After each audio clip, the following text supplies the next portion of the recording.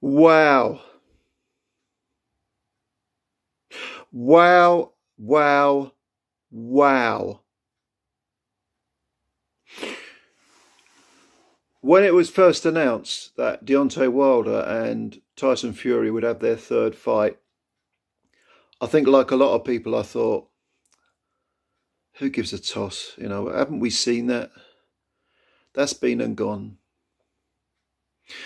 Like a lot of people, I thought Wild um, Fury won the first fight.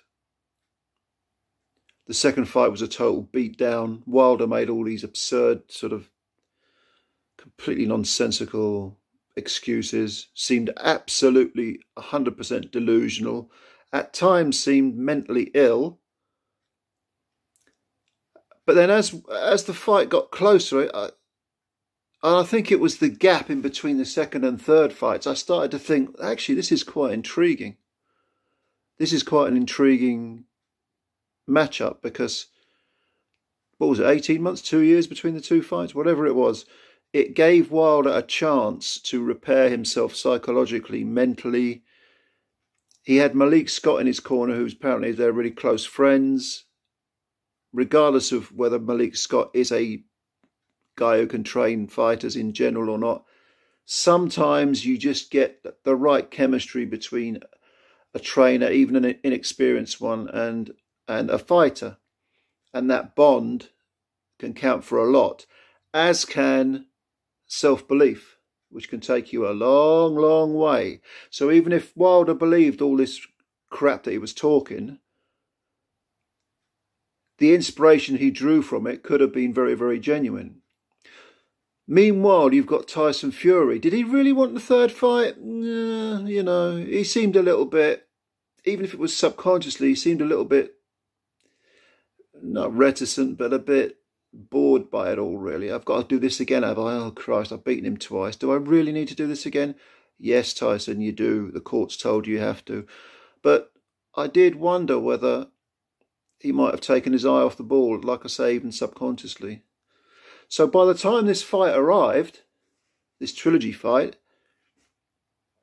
yeah, I was I was up for it. But did I think we'd get what we've just seen? No, I did not. And I very much doubt many people did. Because this was a great heavyweight fight. A really great heavyweight fight. Props to Tyson Fury, floored twice in the fourth round. The one thing you can say about Wilder is that he does hit like a truck. Look, let's remember one thing.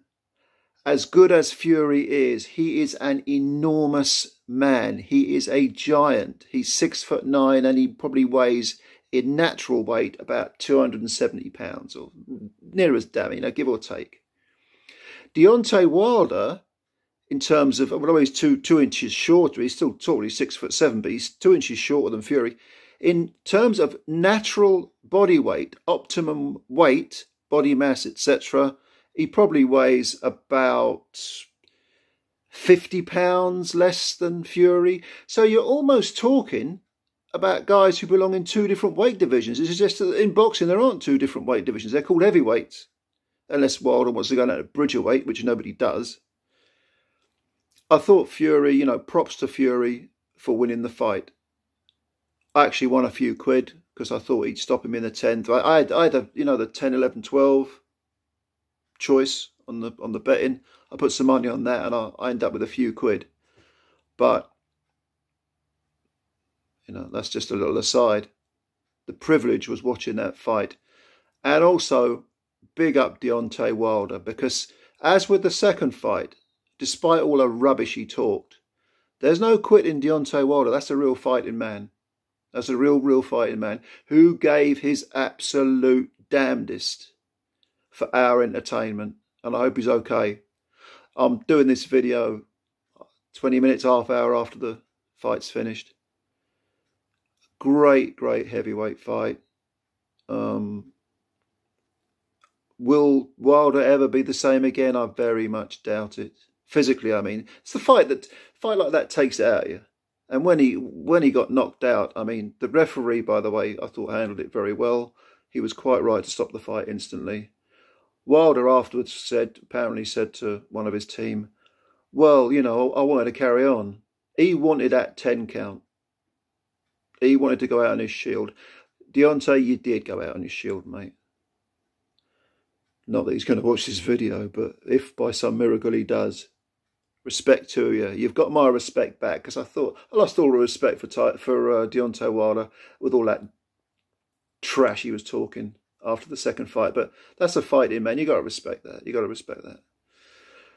Tyson Fury. What can you say about him? The best heavyweight in the world. Usyk and Fury. I'd love to see that because I think it would it would show us just how much size matters. you know, Usyk six foot three and weighs currently weighs two twenty, which isn't a small man. It's bigger than most men, but compared to this giant called Tyson Fury, I don't think he'd beat him. I don't know. I think about that. Think about that fight. That's that's a that's a thought. Maybe a video for another day. But I'm sure um, I'm sure, like like me, you know, you all enjoyed the fight, and uh, there's plenty more fights we had. We were spoilt this weekend. There was plenty more fights on that were really good as well. Might do a few videos about them, but uh, but yeah. Anyway, enough's enough. Bedtime, I suppose, but I'm too hyped up, too amped to sort of go to bed yet. But uh, anyway, this is Joe Stunner Boxing. Um, if you're new to the channel, subscribe. You probably are new to the channel because it's a new channel. So subscribe, hit the like button, spread the videos, and um, yeah, speak to you soon. Take care.